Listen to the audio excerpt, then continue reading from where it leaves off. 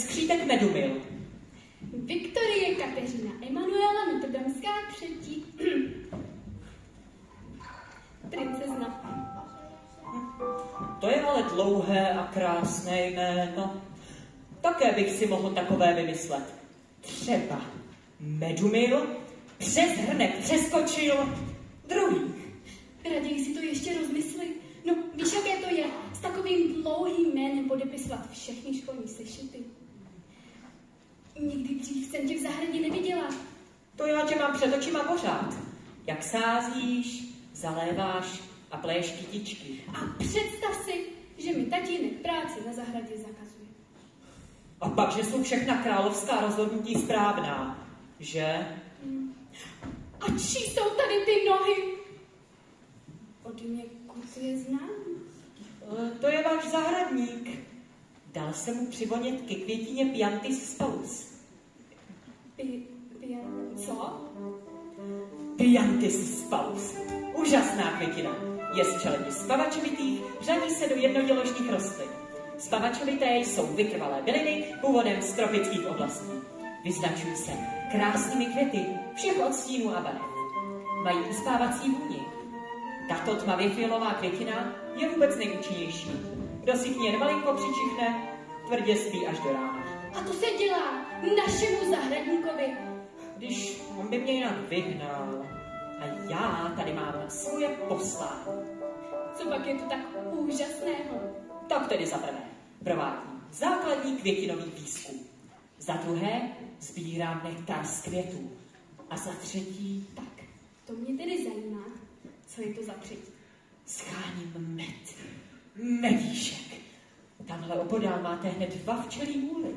Taky mám moc ráda med. Chodím na ní do královské kuchyně. Máme ho tam spoustu. Takže kapička medíčku by se našla i pro Medumila, že jo? Vicky, kde jsi? Ne. Ozvi se mě hledá moje sestra Blanka. Poslyš, ten med, to by bylo něco, kdybys mi ho donesla dnes večer do zahrádky, nejlépe k lesnímu jezírku, tam, kde se v noci hvědicky vzhlížejí jako v zrcadle. Já ti nevím. Tatínek říkal, že nikdy nemám nikam chodit s cizími lidmi. No, ještě k tomu v noci. Ale já jsem přeci skřítek. Máš pravdu. Na skřítě ten zákaz jistě neplatí. Jenomže k jezírku nechodím často. No ani nevím, jestli ho pod mě najdu. Vicky, jsi tady někde? Víš ty co, není to vůbec daleko, zavedu tě tam hned. Tak tedy dobrá, ale rychle, než to bude Blanka. Určitě mě zase hledá kvůli dnešním námovám. No to jsou mi starosti. Čaty červené, nebo růžové, vlasy rozpuštěné, anebo do drdou. Už čtyři kolem svatby nemůžu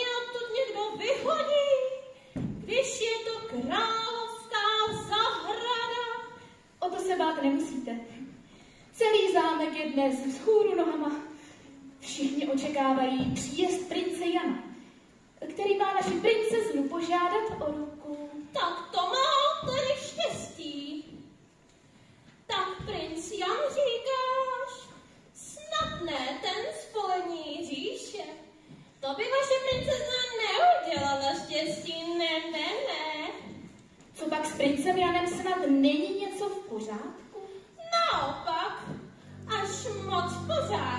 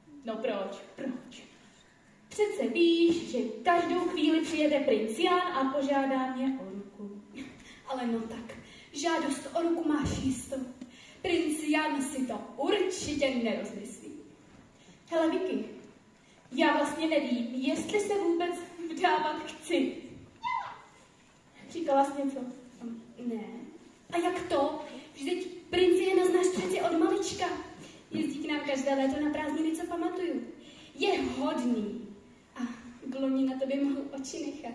To ano, ale... Tak, co mu povíš? Až tě dnes požádá o ruku. Nevím. Můj vysněný princ na bílém koni by měl mít havraní vlasy a srdce jenom pro mě. A princián je nazrzlý blondiák. A chybí mu královské chování a jak nemožně v loni vyrostl. A přesto je pořád takový nedospělý. No ani draka ještě neskolil, už ani nemůže. Z královských nám se draci dostali na seznam ohrožení druhů. Když nad tím tak přemýšlím, vlastně nevím, kam jsem dala oči. Princián ani není můj typ. A jak by podle tebe Měl tedy vypadat ideální princ? Oh, oh, oh.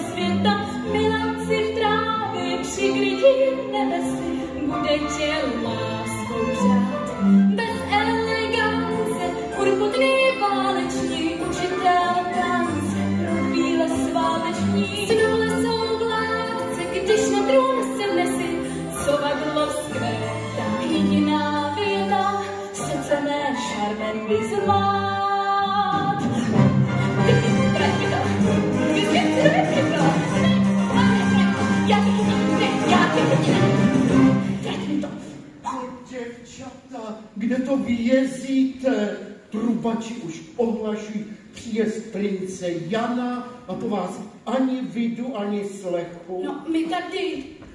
Ale Viktorie Emanuelo Kateřino Notre-Damská třetí, jak to vypadá? Ach, ich, ouvej, dítě zlaté, přece nemůžeš vítat budoucího krále, pohastrošená jako červená karkulka. Ale tatínku, v modě se vůbec nevyznáte. Tohle je poslední kolekce přímo z Paříže. Z Paříže říkáš to. No ale co, když se ta novinka ještě nedonesla k princi Janovi? Běž se raději přes A my tady s Blankou zatím půjdeme zkontrolovat, jestli je všechno připraveno hodovní síni. No na nikoho se teď nemůžu, tedy kromě tebe, Blaničko, spolehnout. Tak představ si to, chůva onemocněla, a zahradník zmizel. A zvídek náš pan Konoří, Konoří se opil jako, no strašně se opil, prý jeho mladá žena je mu nevěrná. Ach, kdyby tady byla ta vaše maminka, ta by si věděla se vším rady. No, ještě, že jsme aspoň loni vymalovali, ale jinak já ti mám takový pocit, jako by ty námluvy šly od desíti k pěti.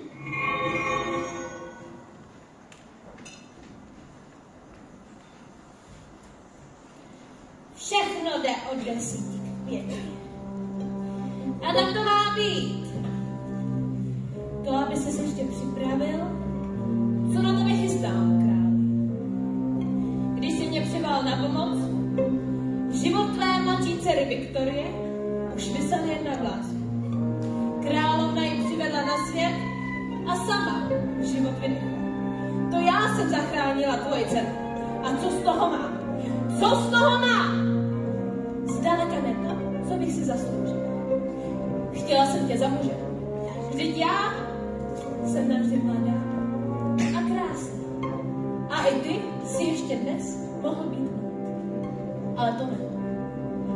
Tobě se raději chtělo truchlit za ztracenou lásku.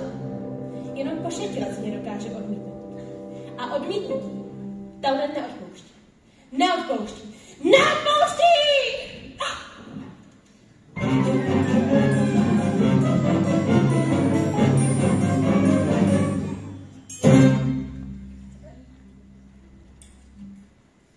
Hmm, Cipřiše dnes voní parzbníku obzvlášť znamenitě. Hmm. Byla blahá noc a po ránu sprchlo. Sprchlo říkáš, no ale teď to hlavní, jak pokračují přípravy na dnešní slavnost. Pane králi, hlásím, že na zámku je všechno uklízeno Všechno, a co ten hadr? a ta pokojská na nikoho není k No spolehnutí. dobře, dobře, tak co hosté Hosté jsou ve svých komnatách, a kuchaři? vaří vynikající krmy, A zahradník. zahradník, a to mi dělá velké starosti. Pořád není k nalezení. Takže květinová výzdoba bude, jak bych to jen řekl, minimalistická. Ach, chouvej. Hm. A princ Jan, jak se zdá, trubače už jsme slyšeli, přijel polední branou. Ale ty se mi zdáš, nejsi nějaký nemocný, nemáš horečku, no. Starosti, starosti, co ta tvoje mladá ženuška? No, hlavní je, jestli máme něco na povzbuzení. A já tady mám takovou zázračnou medicínu z Karlsbadu, z kalečí, neduhy veškeré. Máš něco na nalití? Nemám. Vždycky jsem ve střehu a teď jsem na to dočista zapomněl. Tak si cucni. Jen abys měl připravené korunovační klenoty. Opravdu vynikající. Hm. Opravdu. Tak, Ale, nářadí. králi, je nejvyšší čas začít s audiencí. Právě, to říkám, kde mám nářadí. A ty nemáš korunovační klenoty. Eh, kam jsme je dali? Komu si zbyněk? Ah, děkuji. Dovolíš? Slej se. Tak, můžeme začít. Dvořané, kde jsou dvořané? Všechno sem!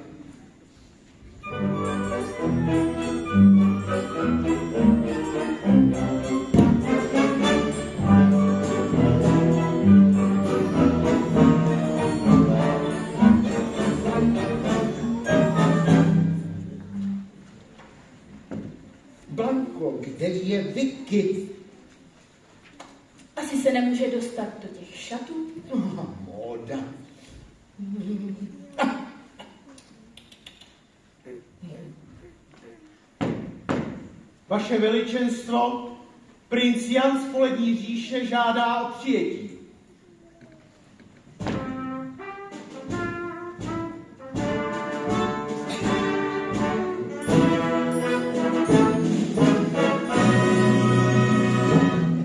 Hrajte, hrajte, ještě hrajte.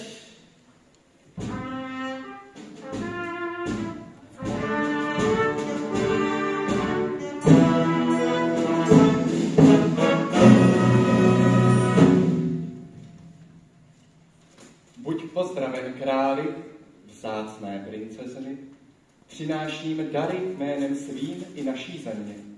Je mi velkou ctí a velikým potěšením a královským potěšením přivítat tak vzácnou návštěvu. Pro tebe, princezno Blanko, jsem přinesl modré růže.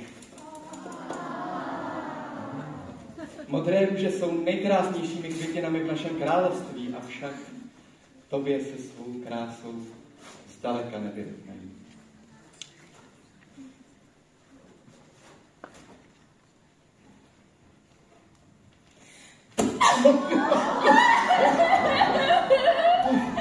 Jen, princine, jen do jeníčku.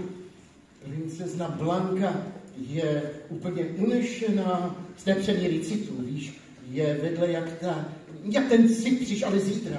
Zítra ti projeví svou náklonost určitě vlídnějším způsobem. Ale ty vypadáš unavený po té dlouhé cestě. Nejlepší komnata je pro tebe připravena. Páže! Páže! Páže! Páže! Ano tak, páže! Nejlepší komnata.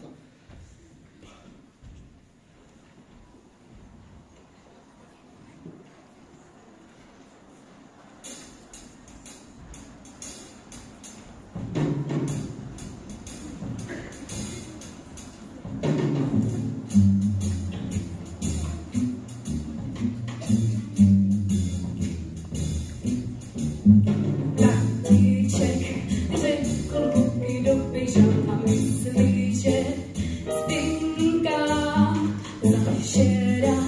Si es muy ese gris y se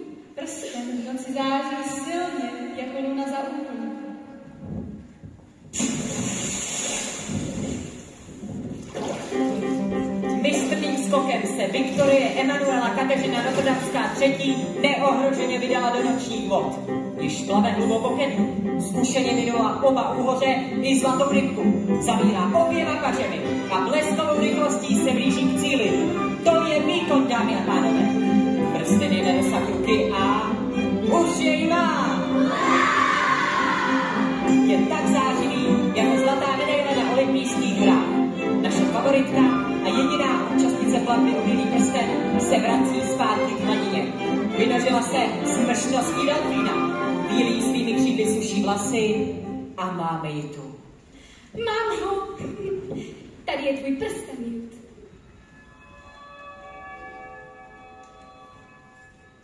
Děkuji ti, Vicky. Jak se ti mohu za tvůj odvážný čin odměnit? To nestojí za řeč. Mně na zámku vůbec nic nechybí. Skutečně? My bíli známe řadu tajemství a kouzel. Opravdu ti nic neschází. No, někdy nám moc chybí maminka. Já ji sice nikdy nepoznala, ale má sestra Blanka a tatínek na ní často vzpomínají. Zrovna teď bychom ji opravdu potřebovali. Blanka je samá záhada. Všichni jsme si mysleli, že má princi Jana ráda a přitom se dnes chovala tak divně. Tatínek si s ní vůbec neví rady. Jsi hodné děvče, Vicky, když na sestru myslíš víc než na sebe. Maminku ti bohužel vrátit nedokážu, ale s Blankou s tou bych ti mohla pomoci. Přijmi ode mě za odměnu tři kouzelné květiny. Tuším, že se ti budou hodit.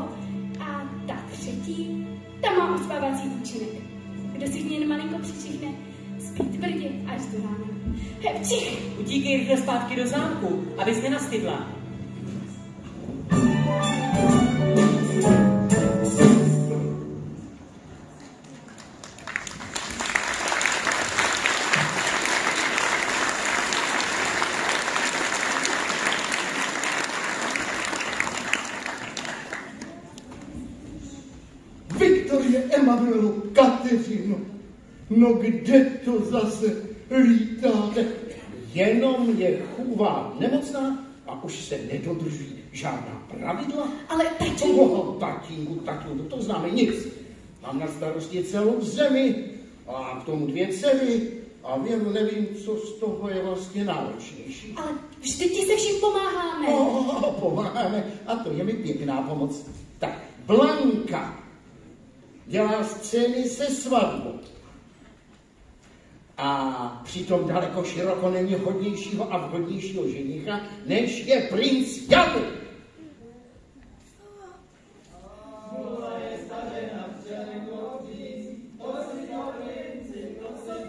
A, a princ Jan, jak vidno, se právě propí v krčně žale.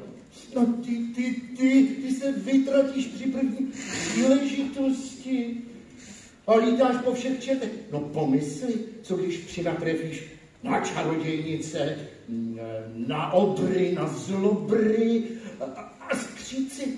Ti jsou ze všech nejhorší. Vlezou ti do zahrady i do srdce. A jak já k tomu všemu přijdu?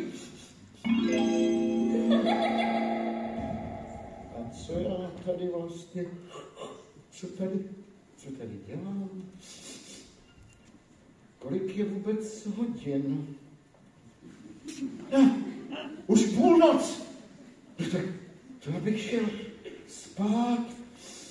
Oh, čeká mě zítra dlouhý den. Všechny nás čeká dlouhý, dlouhý den. No vida, kouzelné květiny se opravdu hodí.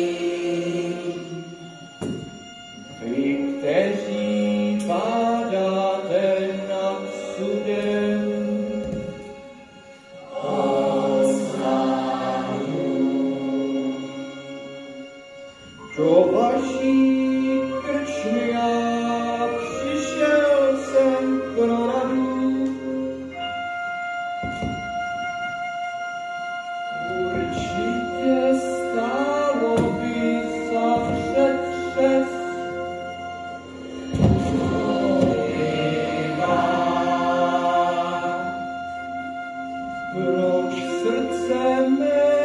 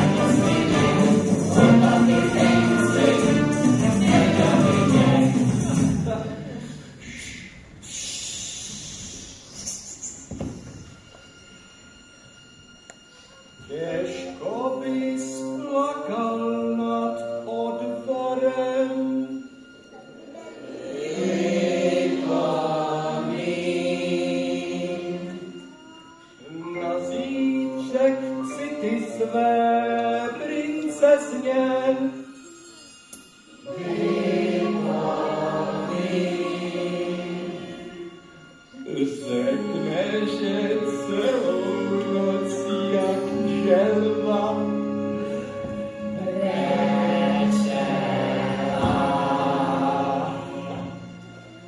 Ráno je moudřejší večera.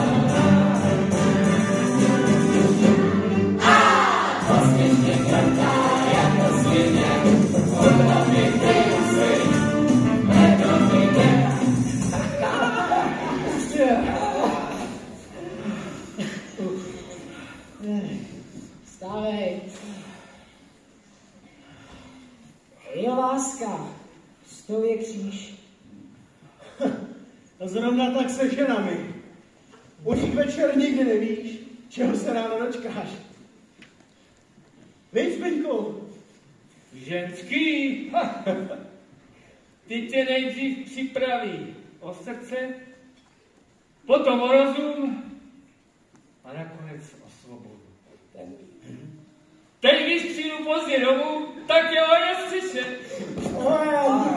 na střiče. Pánové, zapomeňme na ženy. Jo, Zapomeňme na muže. Tomáši, Roberce, ženy jsou přece ženy. Ale medovinka dokáže rozpálit zrovna tak. Ještě tady kapku máme. Tak na zdraví.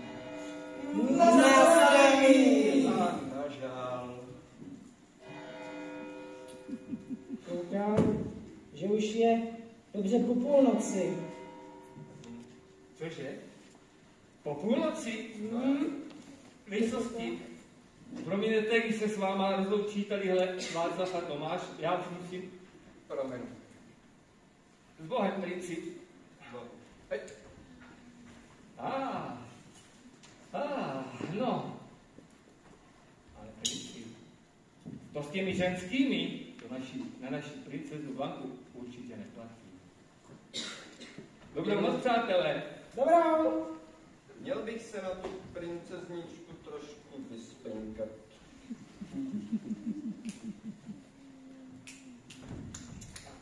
Tak šup, pážata. Raz, dva, tři, hop. No, Už nic nejste, princi. A teď běžte domů. Domů, všichni. Spinkat. Tak, dobrou princi. A hlavu vzhůru. Žádná nestojí o ten smutek. Podej.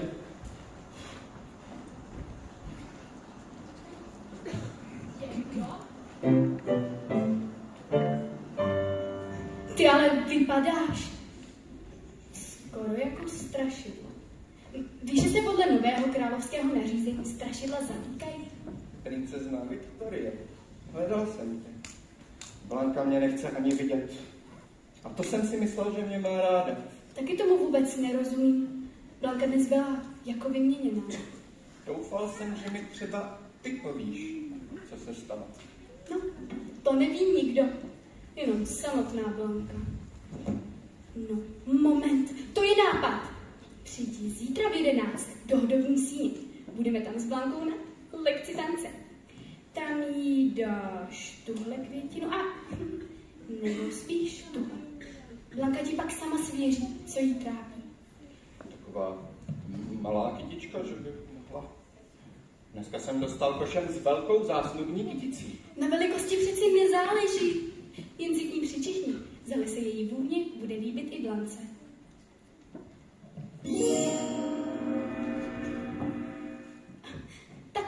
To musí být tahle. Ta potvůrka pravdomluvka. Hm. No, nevadí. Je vlahá noc a nebude žádná škoda, když si na chvíli zdříneš patřím nebem. Dobrou princi!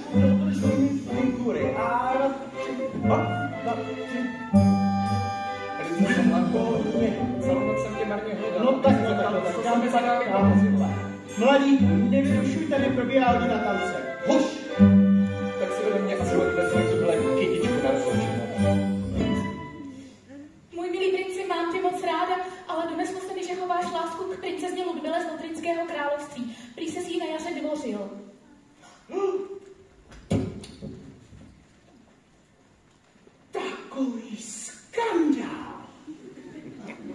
To je nivo. Tady se nedá pracovat. Vůbec. To je materiál. Končím. Já končím.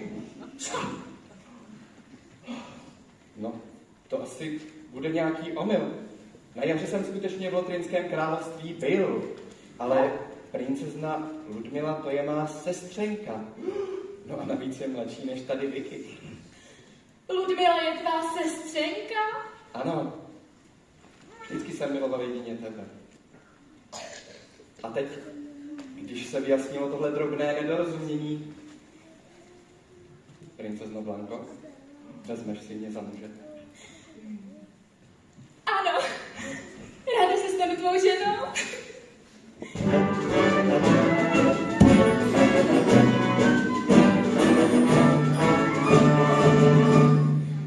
Se nesem se stále, spouští se padací most.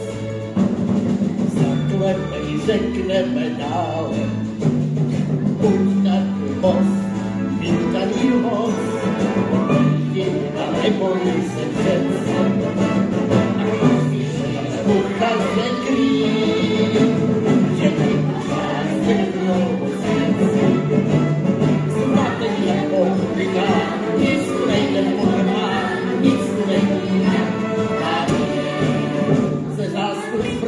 vražda, velikme šaška, ha!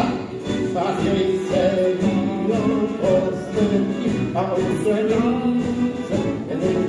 více, všechno to popletu. Ze zástup vražda, velikme šaška,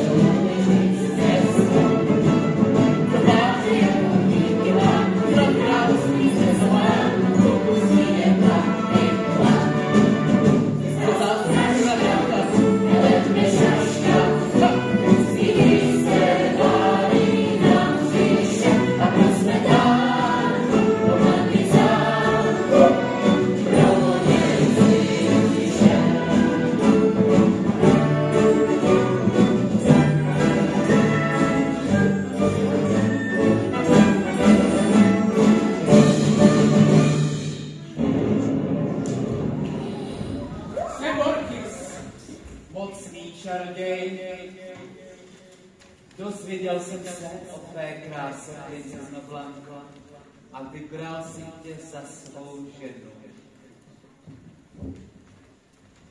Pozdě, pane Borchis. Jsem čerstvě zasnoubena.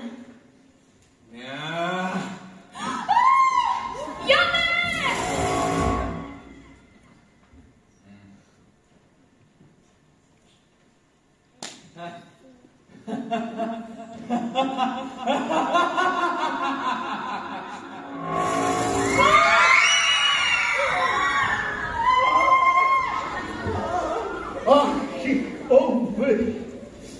Králi, já půjdu princeznu Blanku hledat třeba až na konec světa. Ty bys opravdu... Jistě. A vyrazím hned. Ne, ne, ne, počkej. Víš, kde ji máš hledat? To nevím. Ale na něco jistě přijdu. Počkej, ještě nech mě přemýšlet. Tam v hraničních vozdech na půlnoční straně přebývá čarodějnice Tauret. Žije tam odedávna, nikdo neví, kolik její let a pořád je mladá a krásná. O, říká se, že Tauret zná mnohá tajemství. Ta by mohla pomoci. Když si nám pomohla zachránit Vicky, když jí život vysel na vlásku. Ach, Tauret si ale za své rady žádá vysokou cenu. Pro princeznu Blanku přece žádná cena není dost vysoká. Ale tehdy se Tauret chtěla stát královnou a já ji odmítl. Na Tauret pozor, je náladová a nebezpečná. Bojím se, že se mi bude chtít mstít. A měl bych tedy Tauret vyhledat? V téhle situaci je asi Tauret jediná, kdo nám snad dokáže poradit. A s Tauret? Tak s Tauret už si poradím já. Králi? Princi?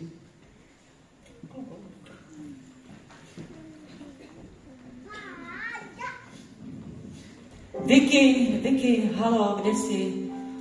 Moje pomalinky už mi všechno vyzvonili. Ozvi se. Tak ty už ovšem víš, kde máme hledat čaroděje. To mi moje kytičky bohužel neřekly. Vypadá to, že u Borchy se neroste ani kus mechu. Ale něco pro tebe přece jen mám.